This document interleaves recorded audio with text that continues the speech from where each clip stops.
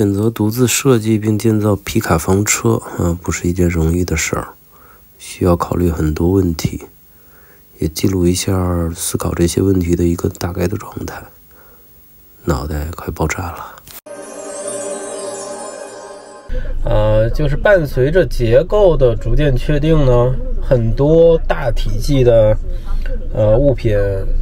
其实我也在逐渐在看，陆陆续续下单，啊，包括清水箱、灰水箱、锂电，还有逆变器，对吧？这些都是占体积比较大，包括空调，呃，冰箱、柴暖，呃，这些东西呢，就是，当然每一个物品它都有一个标准的尺寸，但很多东西，你比如说空调的室内机，它的连接。不仅仅是它室内机那个尺寸那么，呃，写的那样，因为它经常伸出来一个管儿，一个阀门，对吧？嗯，但很有可能就是这个阀门呢，它就导致这个长度就不太够了，所以还得是拿到实物，在充分 测算的基础上，以实物，然后去倒推相关的结构的，呃，确定吧。我是这么一个逻辑，尤其是在对吧皮卡那后斗里，其实之前的视频大家也能看出来，就是空间很有限，因为这是底部的空间。那在这么小的空间内，把这些都尽量排不开，确实是，嗯，有点玄学了。而且我也要考虑，就是呃，未来便于维护。便于维护，我觉得就两个层面。首先，我买的东西一定要稳定可靠，呃，对吧？包括箱子、呃，水管、水箱、水管这种东西，呃，基本上是买嗯条件最严苛的极寒极热的这种都 OK 的，啊，这样可能会避免很多不必要的麻烦。未来的，嗯，还有一方面就是说，假设真的出了问题，那怎么去？方便更换和检修，那这块就涉及到有的嗯空间的排布啊，哪些在上面，哪些在底下，还有你的这个箱体啊，怎么去开，它会方便更换一些。哎，皮卡这个设计吧，比装修要难，因为装修我之前我就自己折腾了嘛。呃，装修比较好的地儿呢，就是。它空间很大，你哪怕卫生间再小的地儿，它的一个空余量，我觉得都得五厘米、十厘米，这至少的。但皮卡房车房厢这种，它的嗯富余量就很少，而且而且还有一种嗯比较麻烦的是，嗯，它是皮卡的那个就房车啊，它是在一个动态的。路线上去去走的，颠簸的路段，那对于很多东西，它比如说水管，你正常买家用的这种那叫 PPR 水管，已经很结实了嘛。但是它在房车里面是稳定性可能一般，因为你在家用它是完全静止的，在房车里面它是不停的震动。我和商家也咨询了，就是如果说是一个动态的颠簸路段，嗯，他们也没。没试过，所以不太不太放心。嗯，那这种动态，包括那个你像，因为我是比较坚持要装灰水箱的，我不太想说我的生活用水直排到外面，这样的话对环境，包括对周围的人影响体验，我觉得都比较大，呃，挺不好。所以我是坚持房箱里面位置再小，我也要有自己的独立的灰水箱，这样集中，呃，可以在服务区啊，或者说是，呃，公厕可以去排。那你像灰水箱，它就涉及到，对吧？排水，排水你正常，呃，房子装修的地漏，呃，买最好的，对吧？潜水艇，你哪怕很一般的牌子。它都是，不会有什么太大问题。但是房箱的话，你就要考虑，呃，它的灰水箱里面的水也是一直在，呃，波动的。然后那和地漏的它的密封怎么处理，都是很实际的问题。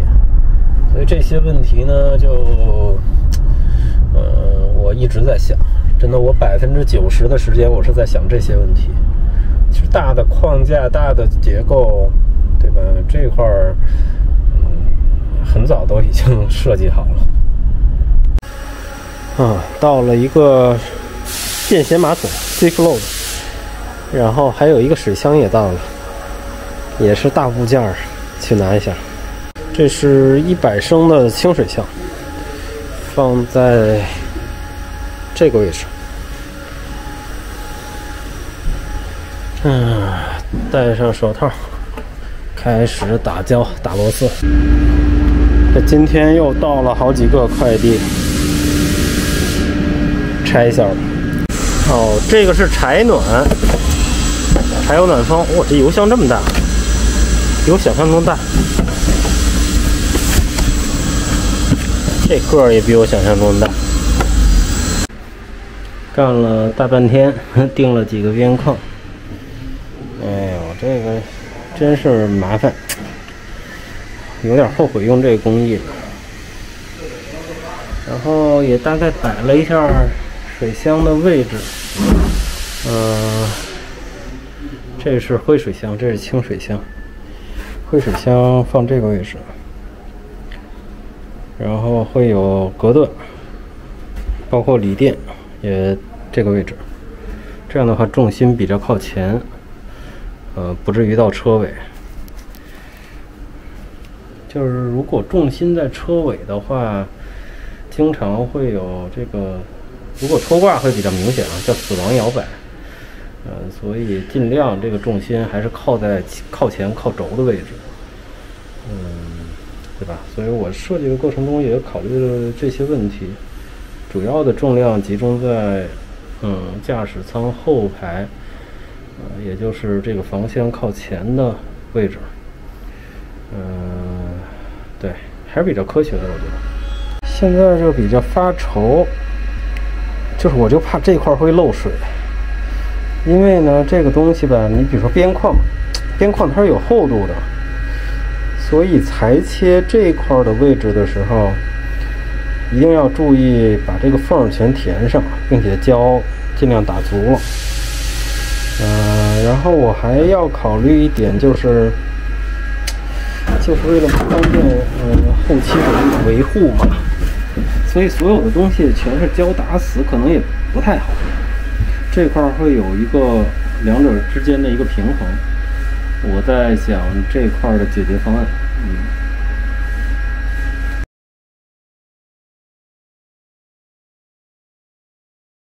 嗯，过会儿还有朋友过来探班，嗯，就不想干了，歇一会儿，嗯，坐这思考一下这个布局，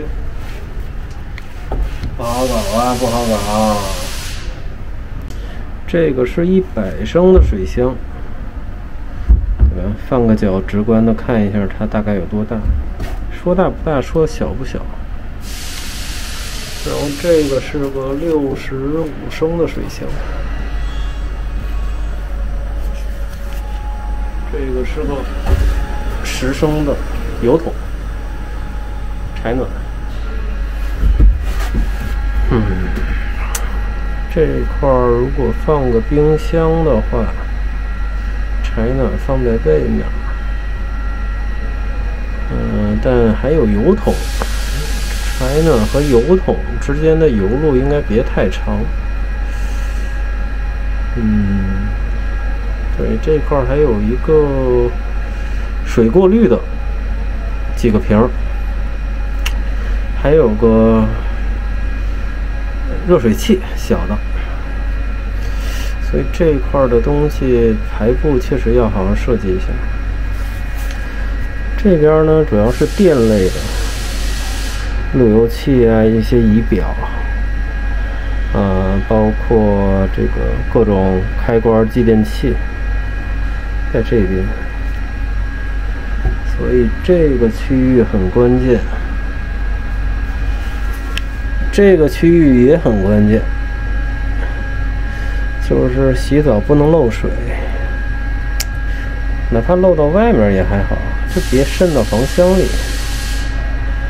嗯，